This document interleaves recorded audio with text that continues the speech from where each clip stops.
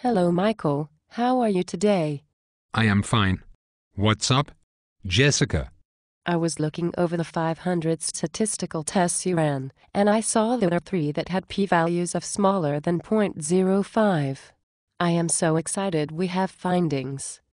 I am sorry, Jessica, but those findings may not be considered significant, given all the tests that were run. Huh? You see, when you run many tests, you increase the chance of making a type 1 error. What are you talking about? P smaller than 0.05.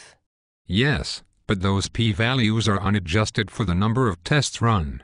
I don't care. The p is smaller than 0.05. Yes, but in actually, it isn't. Once you account for all of the tests, the p-value is much larger.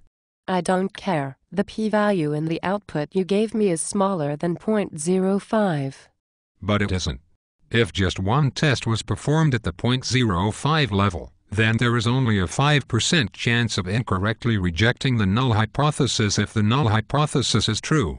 However, for 500 tests where all null hypotheses are false, the expected number of incorrect rejections is 25. If the tests are independent, the probability of at least one incorrect rejection is 99.4%. I don't understand. For example, one might declare that a coin was biased if in 10 flips it landed heads at least 9 times. Indeed, if one assumes as a null hypothesis that the coin is fair, then the probability that a fair coin would come up heads at least 9 out of 10 times is 1.1%. Now, imagine if one was to test 100 fair coins by this method. Though most coins would not have this many heads, there is a strong chance that one of them will be heads at least 9 out of 10 times.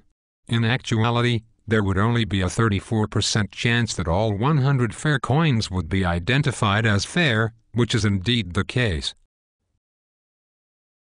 I don't understand what you are saying. Who cares how many tests I have done? I see p smaller than 0.05.